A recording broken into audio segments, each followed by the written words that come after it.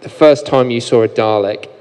Oh yeah. what, what was explain that story to us if you could? Because that was and what was it like to meet this iconic British villain?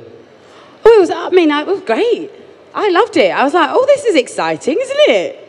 You know. And then, and I was. So I went up and I was, um, I was waving, and he waved back, and I was like, oh, okay, all right. I see. I see what's going on here. This is nice.